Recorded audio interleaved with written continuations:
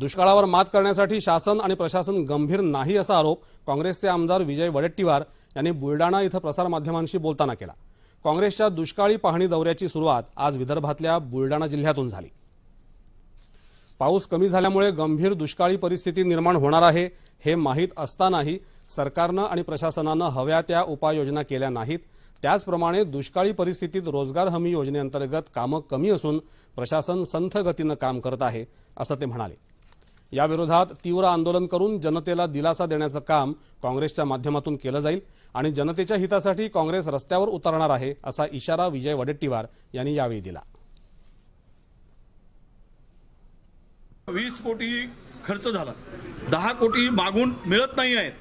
अर्ध्या टँकर आता सुरू नाहीत अनेक ठिकाणी तालुक्याच्या ठिकाणी टंचाईच्या माध्यमातून ज्या महिन्यापर्यंत सगळ्या उपाययोजना करायला पाहिजेत ते कामं अजून सुरू नाही टंचाईच्या माध्यमातून टंचाई असलेल्या भागामध्ये रोजगार हमीचे कामं मोठ्या प्रमाणात सुरू करायला पाहिजेत. काँग्रेसच्या दुष्काळ पाहणी समितीमध्ये वडेट्टीवार यांच्यासह काँग्रेसचे नेते वसंत पुरके वीरेंद्र जगताप रणजित कांबळे राहुल बोंद्रे आणि अतुल लोंढे यांचा समावेश असून या समितीनं बुलडाणा जिल्ह्यातल्या दुष्काळी भागातील नागरिक आणि शेतकऱ्यांशी चर्चा केली.